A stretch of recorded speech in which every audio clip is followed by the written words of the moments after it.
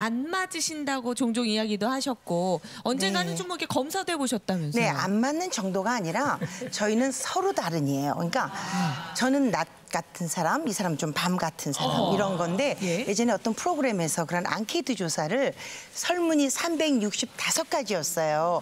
근데 그 중에서 저희는 단 한 항목도 같은 게 없었어요. 겹치는 게 없어요? 단 한 개도.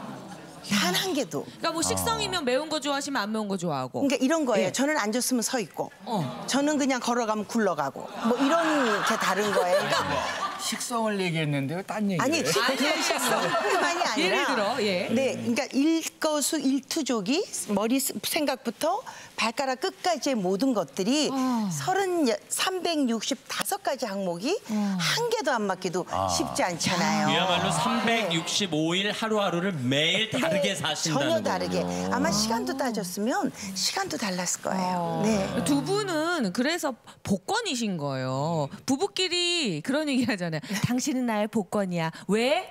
정말 안 맞거든. 계속해도 안 맞거든. 아, 그래요. 이런 얘기 맞아요. 하는데 아니 오늘 금요일도 아닌데 뭐 그런 아줌 개그를 다 하시는 부부의 날이라 한번 준비해봤어요. 아니 이 부분에 대해서는 고 박사님도 동의하시는 거죠? 두 분이 서로 다르다. 어, 많이 그 대칭적이에요. 네. 예, 음식 좋아하는 것도 다르고 어, 그렇게 하고 생활 양식 패턴도 좀 패턴도 다르고. 그 성격 성품도 좀 다른 것 같고 뭐 사고 방식 같은 네 것도. 다르고 그다음에 근데 같은 게 한 가지 있어요. 뭐죠? 자기 고집을 안 꺾는다는 거.